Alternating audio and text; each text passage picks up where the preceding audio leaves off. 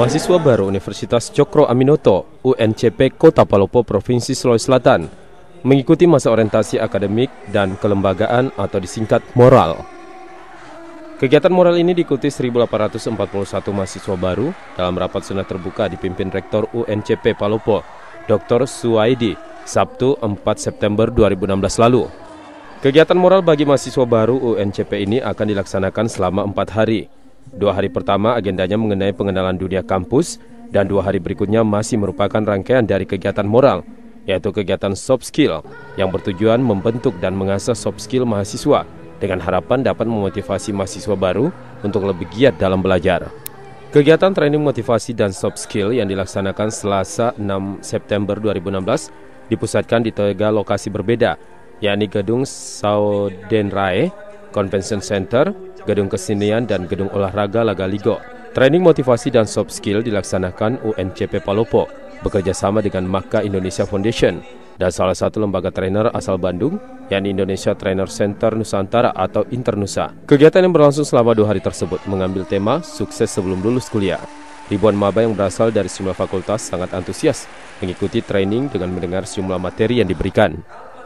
Semangat para maba ini terlihat jelas saat salah satu trainer dari Internusa, Abi Fakri, memberikan motivasi.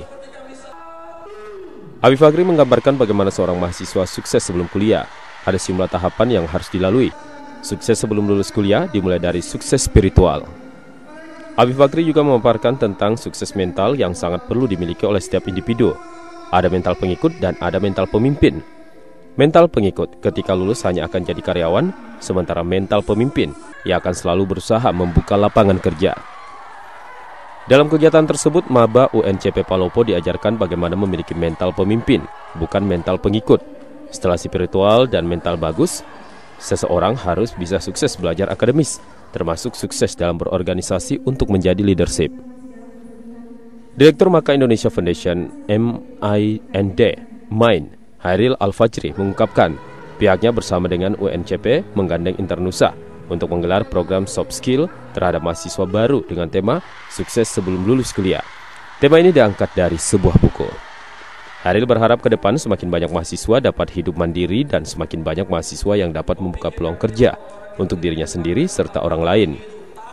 Tema ini diangkat dari buku mega bestseller karya Abi Fahri Naban Robani, Sukses Sebelum Lulus Kuliah. Kita mengharapkan dengan mental sukses sebelum lulus kuliah, maka para mahasiswa bisa hidup mandiri, bisa mendapatkan karir yang baik, bisa mendapatkan jaminan masa depan yang baik dengan memacu skillnya pada saat masih kuliah. Harapan kita ke depan semakin banyak mahasiswa yang bisa hidup mandiri, semakin banyak mahasiswa yang bisa membuka peluang kerja untuk dirinya sendiri dan orang lain.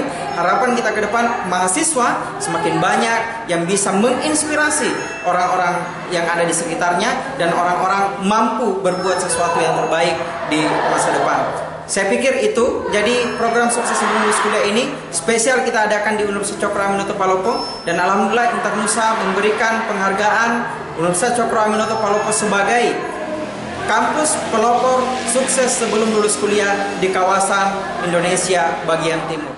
Sementara Rektor UNCP Palopo, Dr. Suwaidi, saat menyampaikan sambutan ketika membuka kegiatan moral mengucapkan, Selamat datang bagi 1841 mahasiswa baru di kampus UNCP Palopo. Suwaidi berharap agar mahasiswa baru yang akan menimba ilmu pengetahuan di berbagai program studi di UNCP agar dapat berprestasi lebih unggul dari mahasiswa lainnya dan membawa nama UNCP Palopo di level nasional dan internasional.